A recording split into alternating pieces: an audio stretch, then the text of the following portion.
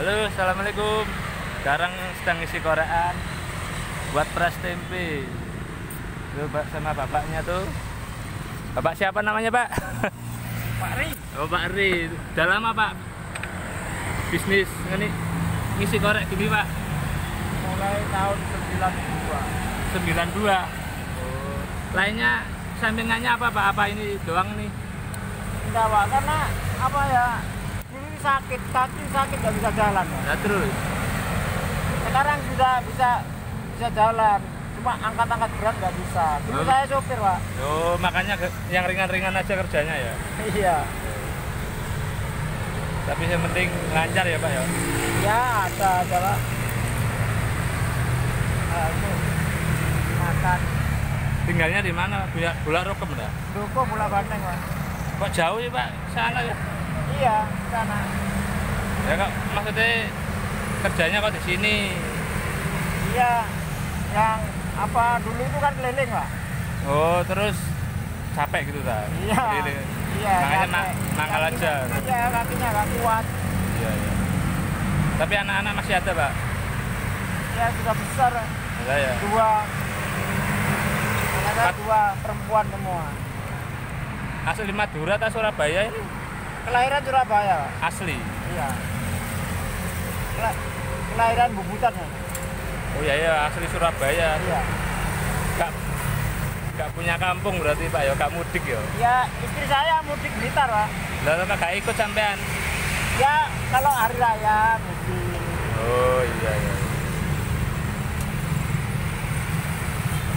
Pernah meledak apa gak? Hah? Ya Korek karena ini. kalau awak ada yang apa rengat ya. Terus Meledos kecil-kecilan Iya. itu ya. ya Ini kulaan ya, Pak? ya Gasnya gitu. sekarang kan sudah sepi ya.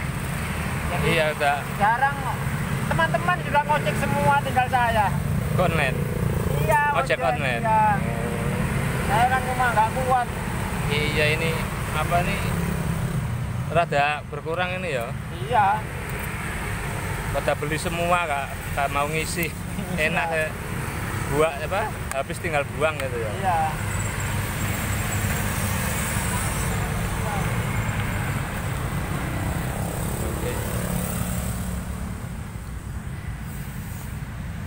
Tarifnya masih sama nih pak. Ya seribu ah, dinaikkan orang nggak mau. Tapi tiap hari ada saya sing nganu pak, sing ngisi. Ada. Ya kadang-kadang ya dapat kalau sepi ya dapat sepuluh ribu. Eh, itu buat ongkos aja gimana tuh pulang ke Tugu Bolak Banteng. Ya, ya namanya usaha. Nah, gitu. Untung anaknya sudah sudah lah. Tapi bantu ya pak ya, anaknya Iya.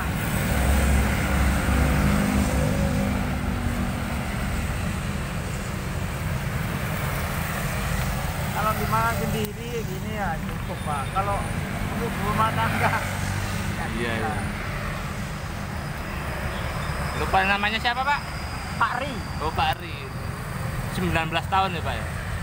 kerjanya Enggak, ini bisnis ininya kerja ngisi korek ini. mulai tahun 92 Jadi berarti berapa 20 tahun? lebih 20 tahun lebih ya pak ya? ya Tapi nggak di sini tuh keliling tuh? iya di sini dulu keliling cuma se- sebentar Malah ya kok masih bertahan aja pak ya? Padahal ya masalahnya nggak bisa kerja lain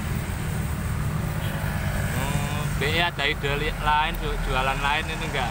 Ya ada dulu itu cuma bangkrut lah jual helm ya saya tempatnya nggak ada di Jalan Semarang sana Oh pasar Turi ya? iya obraan terus nggak nggak punya tempat ya sudah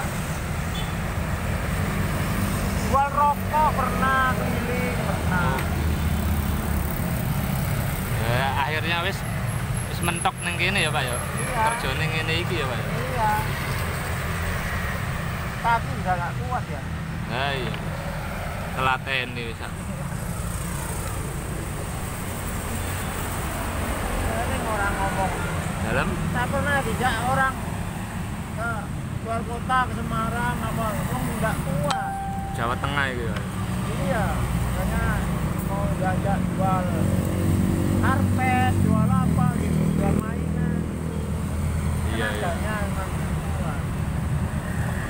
dulu saya kan supir pasar turi Eh, anu lah bemo dah. Bukan. kita nih ke toko Oh, iya iya orang ya. iya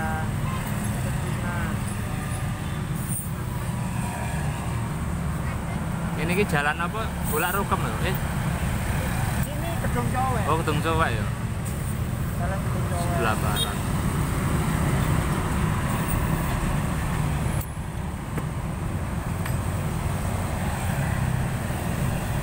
Pak siapa lali aku mana? Pak Ari Pak Rito wah. iya panggil orang itu Pak Pak Pak Ari Oke oke oke. ya aslinya Pak Rifai lah Oh iya, itu Ya. nama komplit gitu. ya tapi orang-orang panggil Pak Ari Pak Oke. Bertahan ini usahanya ini. iya masalahnya nggak bisa saya bisa Iya, iya. bisa jual-jual di jalan-jalan yang lain itu kan sudah dobrak semua kacamata pernah Kok kak sekalian itu pak servis jam itu biasanya. nggak bisa nggak kelihatan iya nggak kelihatan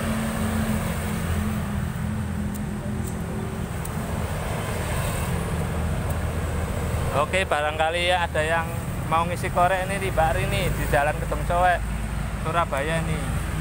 Eh, usahanya sudah eh, 20 tahunan lebih nih dari 92. Oke barangkali lewat sini ini kunjungi Pak Rini. Usaha ngisi korek ini dari dulu nih. Oke. Oke sekian dulu jangan lupa subscribe dan like. Terima kasih. Assalamualaikum warahmatullahi wabarakatuh.